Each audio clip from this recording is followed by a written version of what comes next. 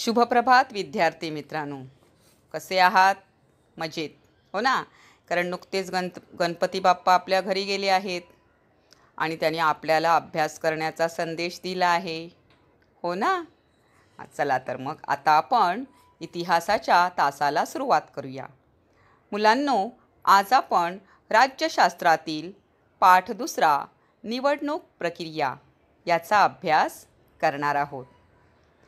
या पाठाचा अभ्यास करताना आपण एक पुस्तकातील धडाच शिकणार नाही. तर मुलांनो लक्षात ठेवा तुमच्या पुढील जीवनात म्हणजेच वयाची अठरा वर्षे पूर्ण झाल्यावर राजकीय क्षेत्रात तुमचा प्रवेश होईल. भारतीय लोकशाहीच्या वाटचालीत तुमचा महत्त्वाचा सहभाग असेल. आणि या सर्वाचे व्यावहारिक जीवनाचे शिक्षण तुम्हाला या पाठातून मिळणार आहे. त्यामुळे लक्षपूर्वक पहा हा पाठ. मुलांनो प्रत्येक देशातच निवडणूक एक राजकीय सोहळा असतो. आपल्या घरात एखादे मोठे कार्य असते तेव्हा कशी वर्षभर तयारी करावी लागते तसेच या निवडणुकीचे आहे. त्यासाठी निवडणूक आयोग नेमणे त्यांची कार्ये निवडणूक प्रक्रिया मतपेटीपासून ई व्ही एम मशीनपर्यंतचा प्रवास. म्हणजे आता मतदान हे ई व्ही एम मशीनमध्ये बटन दाबून केले जाते. या सर्व घटकांचा अभ्यास आज आपण करणार आहोत. चला तर सुरुवातीला आपण निवडणुकीचे महत्त्व जाणून घेऊया. निवडणुकीचे महत्त्व. मुलांनो आपण मागील पाठात म्हणजे संविधानाची वाटचाल या पाठात मताधिकार म्हणजे काय याचा अभ्यास केला. भारताच्या लोकशाहीच्या वाटचालीत निवडणुकांचा महत्त्वाचा वाटा आहे. संविधानाच्या नियमानुसार ह्या निवडणुका होत असतात आणि जनतेकडून प्रतिनिधीची निवडही केली जाते. दर पाच वर्षांनी सत्ताबदल होत असतो आणि हा सत्ताबदल शांततेच्या मार्गाने होतो.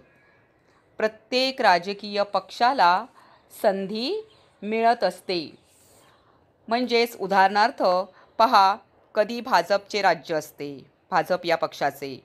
तर कधी काँग्रेस पक्षाचे राज्य असते म्हणजे सत्ता असते. बहुमत मिळालेल्या पक्षाला सत्ता स्थापन करण्याचा अधिकार असतो.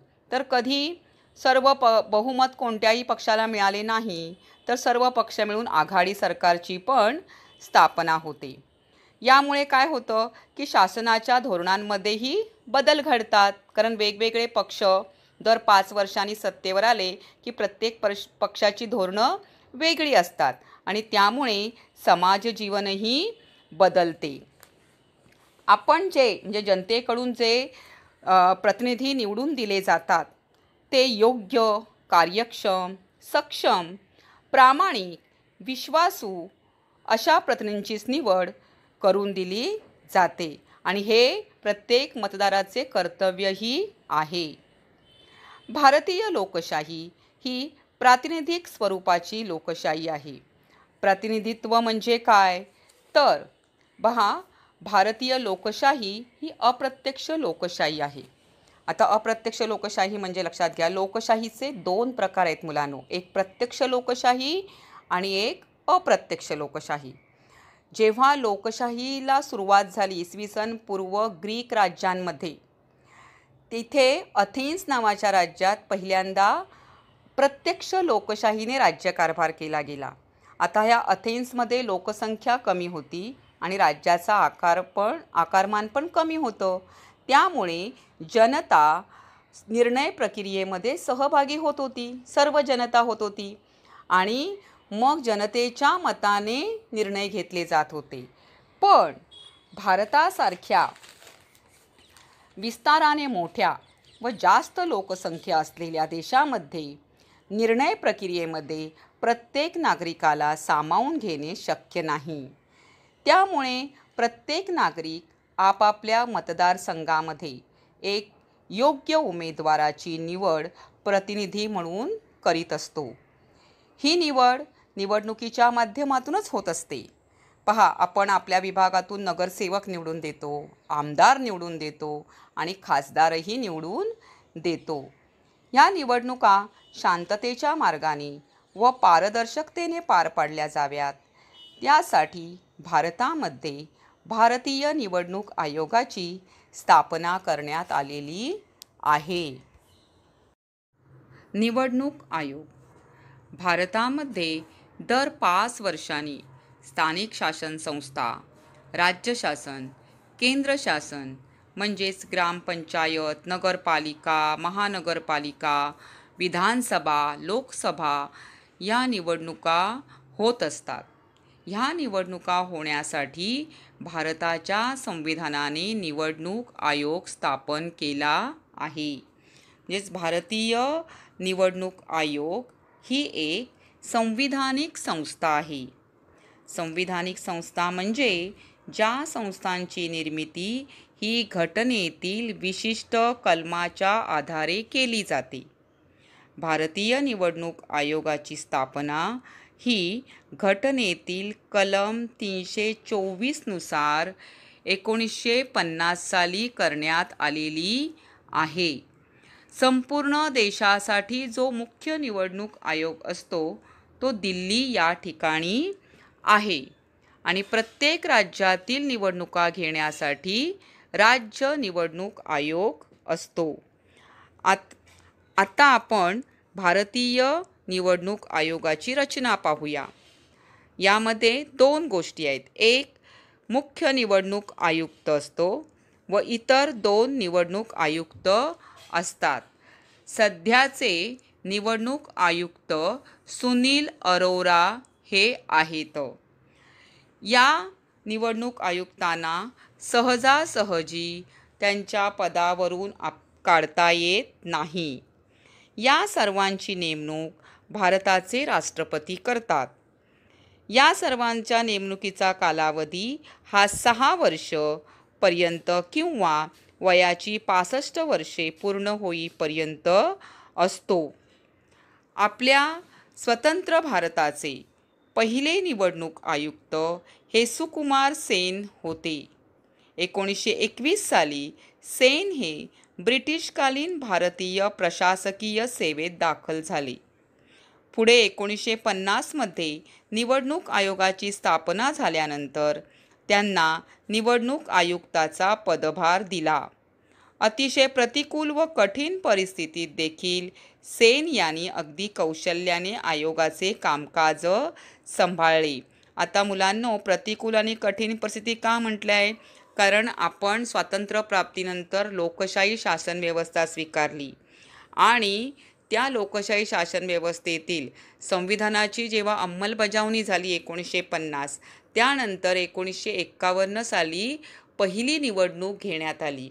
आणि म्हणून प्रतिकूल आणि कठीण परिस्थिती असं म्हटलेलं आहे. निवडणूक आयोग ही एक स्वायत्त संस्था आहे. स्वायत्त म्हणजे स्वतःचे निर्णय घेण्याचे पूर्ण स्वातंत्र्य हे निवडणूक आयोगाला आहे. इतर कोणतीही यंत्रणा या प्रक्रियेत हस्तक्षेप करीत नाही. म्हणजेच कोणताही सत्तेवर असलेला राजकीय पक्षसुद्धा निवडणूक आयोगामध्ये हस्तच्या कामकाजात हस्तक्षेप करत नाही. निवडणूक आयोगाला आपले काम करण्याची पूर्ण अनुमती आणि स्वायत्तता घटनेतील कलम तीनशे चोवीसनुसार प्रदान करण्यात आलेली आहे. देशभरातील सर्वच निवडणुका या भारतीय निवडणूक आयोग तसेच राज्य पातळीवरील राज्य निवडणूक आयोग यांच्या मार्गदर्शन व नियंत्रणाखाली पार पडत असतात. म्हणजे उदाहरणार्थ पहा महाराष्ट्राचा निवडणूक आयोग हा वेगळा आहे. म्हणजे महाराष्ट्र राज्यातील निवडणूक ही महाराष्ट्र राज्य निवडणूक आयोगाच्या मार्गदर्शनाखाली चालते. परंतु हा राज्य निवडणूक आयोग जो आहे तो केंद्रीय निवडणूक आयोगाच्या नेतृत्वाखालीच काम करीत असतो. हेही लक्षात ठेवा मुलांनो. मुक्त स्वच्छ आणि न्याय वातावरणात निवडणुका पार पाडणे हे निवडणूक आयोगाचे प्राथमिक कर्तव्य असते. निवडणूक आयोगाकडे स्वतःचा कर्मचारी वर्ग नाही. म्हणून निवडणुकीच्या कामकाजासाठी इतर सरकारी विभागातील अधिकारी शिक्षक इतर कर्मचारी हे निवडणूक आयोगाच्या मार्गदर्शनाखाली काम करीत असतात. अशा प्रकारे मुलांनो आता आपण निवडणूक आयोग म्हणजे काय ते पाहिले. मुलांनो आपण निवडणूक आयोगा निवडणूक प्रक्रिया या पाठाचा अभ्यास करताना निवडणूक आयोगाची स्थापना कशा प्रकारे झाली ते पाहिले. निवडणूक आयोगाची रचना पाहिली. आत्ता आपण निवडणूक आयोगाची कार्य अभ्यासणार आहोत. पहिलं कार्य आहे मतदार याद्या तयार करणे. मतदार याद्या तयार करणे हे निवडणूक आयोगाचे पहिले कर्तव्य असते. वयाची अठरा वर्षे पूर्ण असलेल्या प्रत्येक भारतीय नागरिकाला प्रौढ मताधिकार प्राप्त झालेला आहे. तो त्यांचा राजकीय अधिकार आहे. अठरा वर्ष पूर्ण झालेल्या प्रत्येक नागरिकाला मतदानाचा हक्क आहे. पण मतदानाचा हक्क बजावण्यासाठी मतदार यादीत नाव असावे लागते. या याद्या तयार करणे अद्यावत करणे अद्यावत करणे म्हणजेच मृत्यू पावलेले जे मतदार आहेत त्यांचे नाव यादीतून रद्द करावे लागते. आणि स्थलांतरित जे होतात त्यांची नावे नव्याने दाखल करून घ्यावी लागतात. तसेच अठरा वर्ष पूर्ण झालेले जे मतदार आहेत त्यांची नावे दाखल करून घ्यावी लागतात आणि या मतदारांना ओळखपत्र देणे ही महत्त्वाची कामे निवडणूक आयोगाला करावी लागतात. नागरिकांमध्ये लोकशाहीविषयी जाणीव निर्माण करणे हे महत्त्वाचे कार्य निवडणूक आयोग करीत असते. आणखी एक लक्षात ठेवण्याचा भाग आहे तो म्हणजे मतदार नोंदणीसाठी विशेष मतदार जागृती मोहीम आखण्यात येते. त्यासाठी राष्ट्रीय मतदार दिवस साजरा केला जातो. म्हणजेच लोकांनी मतदान केलं पाहिजे. मतदार यादीत अठरा वर्ष पूर्ण झालेल्या प्रत्येकाने नाव नोंदणीसाठी अर्ज दाखल केला पाहिजे.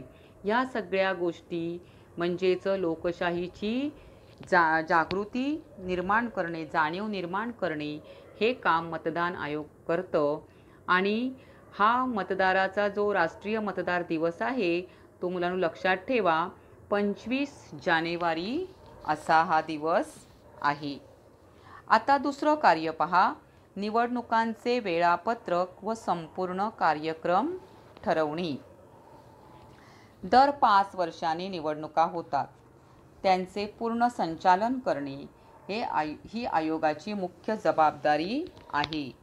देशात राज्यात केव्हा व किती टप्प्यात निवडणुका घ्यायच्या हे पक्ष ठरवत नाही तर निवडणूक आयोग ठरवत असते. आता पहा भारत हा कसा आहे? विस्ताराने मोठा आहे आणि लोकसंख्याही जास्त आहे. तसेच विविध भाषा बोलणाऱ्यांचा हा काय आहे? देश आहे.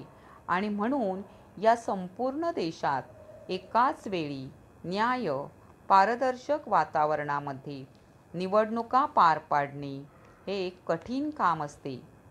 आणि म्हणूनच त्यासाठी टप्पे जाहीर केले जातात. वेळापत्रक जाहीर केले जाते आणि हे सुद्धा महत्त्वाचे काम हे निवडणूक आयोग करीत असते. आता आपण तिसऱ्या कार्याकडे वळणार आहोत. ते म्हणजे उमेदवारांच्या अर्जाची छाननी. आता पहा निवडणुकांच्या तारखा जाहीर झाल्यानंतर विविध राजकीय पक्ष आपले उमेदवार निवडणुकीसाठी उभे करतात. तसेच कोणत्याही पक्षाचा पाठिंबा न घेता स्वतंत्रपणेही काही उमेदवार निवडणूक लढवतात. अशा अपक्ष उमेदवारांसह निवडणूक लढवू इच्छिणाऱ्या या सर्व उमेदवारांना अर्ज भरावा लागतो व त्यात स्वतःसंबंधी सर्व माहिती द्यावी लागते. या अर्जाची काटेकोर छाननी निवडणूक आयोग करते. आता काटेकोर छाननी म्हणजे तपासण्याचं काम निवडणूक आयोग करतं. म्हणजे उदाहरणार्थ पहा एखाद्या उमेदवाराने जो अर्ज भरलेला असेल त्यात त्याचं नाव त्याच्या जातीचा दाखला त्याची जन्मतारीख त्याने उत्पन्न किती लिहिलेलं आहे त्याची मालमत्ता किती आहे त्याचं शिक्षण किती आहे त्याची अपत्य संख्या किती आहे या सगळ्याची छाननी केली जाते. म्हणजे त्याने जे सोबत जोडलेले कागदपत्र आहेत ते सत्य आहेत का? हे निवडणूक आयोगाचे कर्मचारी जे आहेत ते पहा पडताळून पाहतात. आणि जर त्यात खोटेपणा आढळला म्हणजे त्याने शिक्षण चुकीचं दाखवलं असेल किंवा जातीचा दाखला त्या जातीत नसूनसुद्धा त्याने केवळ निवडणुकीसाठी आणला असेल किंवा मालमत्ता त्याची खूप आहे आणि त्याने तिथे कमी दाखवली असेल तर हे जेव्हा छाननीमध्ये निवडणूक आयोगाच्या निदर्शनास आलं तर मुलांनो अशा उमेदवारांचा अर्ज रद्द केला जातो आणि ही सर्वात महत्त्वाची गोष्ट आहे. आता चौथं राजकीय कार्य आपण पाहणार आहोत. राजकीय पक्षांना मान्यता देणे. निवडणूक आयोगाचे चौथे कार्य राजकीय पक्षांना मान्यता देणे. मुलांनो आपल्या देशात बहुपक्ष पद्धती आहे. तसेच नवनवे पक्ष निर्माण होतात. पक्षांमध्ये फूट पडून नवे पक्ष अस्तित्वात येतात. अशा सर्व पक्षांना निवडणूक आयोगाची मान्यता आवश्यक असते. म्हणजे पहा मुलांनो लोकशाहीमध्ये दोन प्रकार आहेत. द्विपक्षीय लोकशाही आणि बहुपक्षीय लोकशाही पद्धत. अमेरिकेसारख्या देशामध्ये द्विपक्षीय लोकशाही पद्धत आहे. म्हणजे तिथे दोनच पक्ष आहेत. एक आहे रिपब्लिकन पार्टी आणि दुसरा आहे डेमोक्रॅटिक पक्ष. पण भारतात मात्र बहुपक्ष पद्धत आहे. म्हणजेच भारतात विविध पक्ष आहेत. मग ह्या सर्व पक्षांना निवडणूक आयोगाची मान्यता घ्यावी लागते. म्हणजे पहा की मान्यता देण्यासाठी विविध अटीसुद्धा असतात. म्हणजेच त्या पक्षाने निवडणुकीमध्ये मागील निवडणुकीमध्ये डॅश पर टक्के जागा निवडून आलेल्या डॅश टक्के त्यांना मते मिळालेली आहेत त्यांच्या उमेदवारांना किंवा ठराविक टक्के प्रतिनिधी त्यांचे निवडून आलेले आहेत अशा प्रकारच्या अटी असतात.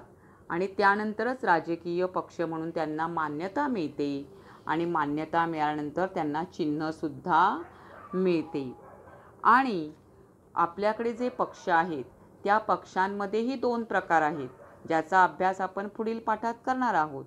पण आता तुम्हाला मी सांगते की प्रादेशिक पातळीवरचे पक्ष आणि राष्ट्रीय पातळीवरचे पक्ष की ज्यांना राष्ट्रीय पक्ष म्हणतात. म्हणजे जे केंद्र केंद्रामध्ये दिल्लीमध्ये जे सत्ता प्रस्थापित करतात आणि भारतातल्या अनेक राज्यांमध्ये या हे पक्ष कार्यरत आहेत अशा पक्षांना राष्ट्रीय पक्ष म्हणतात. उदाहरणार्थ काँग्रेस पक्ष कम्युनिस्ट पक्ष भाजप पक्ष इत्यादी. तर काही प्रदेश हे त्या प्रदेशापुरतेच काम करतात. किंवा त्यांचं त्या प्रदेशापुरतीच सत्ता मर्यादित असते. कार्यक्षेत्र मर्यादित असतं. त्यांना प्रादेशिक पातळीवरचे पक्ष म्हणतात. उदाहरणार्थ महाराष्ट्र घ्या. मग महाराष्ट्रामधील शिवसेना पक्ष घ्या. किंवा महाराष्ट्र नवनिर्माण सेना पक्ष घ्या. हे पक्ष त्या प्र प्रदेशापुरतंच काम करीत असतात. आता आपण पुढील कार्य पाहूया मुलांनो पाचव्या क्रमांकाचं कार्य आहे की निवडणुकीसंबंधी वाद सोडविणे. निवडणुकांसंबंधी काही वाद निर्माण झाल्यास ते निवडणुकीची ते सोडवण्याची जबाबदारी निवडणूक आयोगावर असते. त्यानुसार एखाद्या मतदारसंघात पुन्हा निवडणुका घेणे किंवा उमेदवाराची अपात्रता घोषित करणे ही कामे निवडणूक आयोग करतं. पहा मुलांनो निवडणुकीच्या काळात निवडणूक आयोगाला काही न्यायालयीन अधिकार प्राप्त होत असतात. हे अधिकार पूर्णत निवडणूक संदर्भातच असतात. आचारसंहिता जाहीर झाल्यापासून निवडणुकांचा निकाल जाहीर होईपर्यंत उमेदवारांमधील वाद सोडविणे एखाद्या उमेदवाराने आचारसंहितेचा भंग केला. तर त्याला त्याने जर आचारसंहितेचा भंग केला तर त्याला किंवा निवडणूक झाल्यावरही वाद निर्माण होतात. या वेळेला त्या पक्षाच्या त्या प्रतिनिधीवर योग्य ती कारवाई क करण्याचं काम निवडणूक आयोग करतो. कधी कधी काय होतं मुलांनो पहा की पराजित झालेला निवडणुकीचा निकाल जाहीर झाला तर पराजित झालेला जो उमेदवार असतो तो जिंकलेल्या उमेदवाराच्या विरुद्ध भ्रष्टाचाराचे पुरावे देतो. म्हणजे आचारसंहितेचा भंग केला यांनी किंवा जातीचा दाखला खोटा दाखवलेला आहे किंवा उत्पन्न खोटं दाखवलेलं आहे असं पुराव्यानिशी सादर केलं जातं. त्यावेळेला निवडणूक आयोग त्या सम तो जो वाद असेल तो सोडविते. तर आणि त्यामुळे त्या मतदारसंघात पुन्हा निवडणूकही जर ते आरोप सिद्ध झाले तर ती निवडणूक रद्द होऊन त्या भागात पुन्हा निवडणूक घेतली जाते. ही अशी महत्त्वपूर्ण कार्य निवडणूक आयोग करतं. मुलांनो आता आपण निवडणूक आयोगाची कार्य यांचा अभ्यास केला. आता आपल्या पुस्तकात पान क्रमांक शहात्तर आणि सत्याहत्तर यावर काही संकल्पना आहेत. त्याचं स्पष्टीकरण मी तुम्हाला करते. आणि ह्या गोष्टी तुम्हाला पुढेही लक्षात ठेवायच्या आहेत. असे का करावे लागते? पहिली संकल्पना आहे उमेदवारांना फक्त वयाची अट असताना त्यांनी इतर माहिती निवडणूक आयोगाला देणे का महत्त्वाचे आहे? लक्षात ठेवा की फक्त वयच ही अट असली तरीसुद्धा जी निवडून येणारी व्यक्ती जी आहे ती नाग जनतेचे प्रश्न सोडविणार आहे. मग अशी व्यक्ती ही भ्रष्टाचारी असतानाही तिची पात्रता चांगली असली पाहिजे. तिने तिच्यावर कोणताही आरोप असताना चारित्र्य चांगले असले पाहिजे कर्तव्य तत्पर असले पाहिजे. आणि ह्या सगळ्या ज्या गोष्टी आहेत ह्या त्या उमेदवाराने ज्या दिलेल्या दिलेली जी पत्रकं आहेत अर्जासोबत त्यातूनच पडताळणी करून छाननी करून त्या उमेदवाराची उमेदवारी ही ठरविली जाते. दुसरी संकल्पना आहे मुलांनो उमेदवारांना त्यांच्याकडील मालमत्तेची माहिती निवडणूक आयोगाला का द्यावी लागते? आता निवडणुकीला जो उमेदवार उभा राहतो त्याने आपली मालमत्ता सांगणे ही एक अट आहे. काही वेळेला मालमत्ता जास्त असते पण ती कमी दाखवली जाते. आणि मग त्या पैशांचा उपयोग हा निवडणुकीच्या काळात भ्रष्टाचारासाठी केला जातो जे लोकांना लाचलुचपत देऊन मतदान करण्यासाठी काही वेळेला केला जातो. हे होऊ नये यासाठी म्हणूनच उमेदवाराला मालमत्तेची माहिती द्यावी लागते. तसेच पहा अनुसूचित जाती व अनुसूचित जमातींसाठी काही मतदारसंघ राखून ठेवले आहेत. मुलांनो आपल्या संविधानानुसारच प्रत्येक जाती जमातींना प्रतिनिधित्व मिळाले पाहिजे आणि म्हणूनच त्यानुसारच निवडणूक आयोगाने सुद्धा मतदार संघाची जेव्हा आखणी केली जाते तेव्हा या अनुसूचित जाती जमातीसाठी राखून ठेवले जातात काही मतदार संघ.